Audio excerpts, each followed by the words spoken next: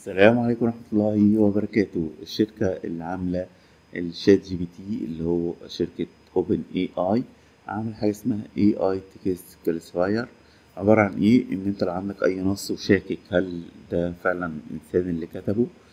ولا ال- ال- الذكاء الاصطناعي هو اللي كاتبه؟ مجرد بتاخد الكلام ده copy paste وتحطه هنا. تمام؟ أي كلام عندك يبدأ إن هو وتقول له submit يبدا يقول لك الكلام دوت بنسبة قد إيه الإنسان هو اللي كاتبه الذ- الذكاء الصناعي هو اللي كاتبه. يعني لو في دكتور طلب بحث من طلبة واستسهله وسأله الذكاء الصناعي وخد copy paste من غير ما يعدل هيتقفشوا هيتقفشوا تمام؟ يعني هيعمل مقارنة مع الكلام الموجود في بصمة في وسط الكلام في حرف بيتكتب بشكل معين. المهم هو اللي عامل الحاجة هو. ال...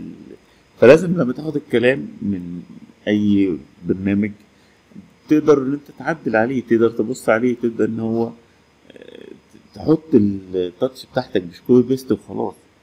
بيفكرني الدكتور آه، في أحد الجامعات آه، كان بيدي درس ال- ال- المجموعة من الطالبات وراح قال لهم يعني خدوا هم الأسئلة مثلا عشر أسئلة هيجي منهم تلاتة في الامتحان.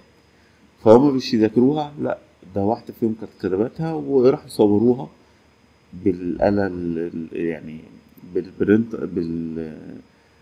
بالطبعة حطوا الورق وراحوا نسخوها ودخلوا الامتحان بالورق وبدأوا يشوفوا السؤال وراحوا حاطين ال... بدل ما يكتبوا بإيديهم تمام؟ لأ ده حطوا الورق اللي هو منسوخ تمام؟ في وسط ورقة الإجابة وبعتها للدكتور. فالدكتور سقطهم كلهم يعني اتعب شوية ذاكر كلام خد الكلام copy paste الحاجات ديت. امبارح كان عندي آه، زي سؤال معين. سألت الذكاء الاصطناعي وبدأت آخد أفكار ما خدتش ولا كلمة copy paste بس قرأت الكلام بتاعه كان إيه مزايا وعيوب ال- الشراء أونلاين.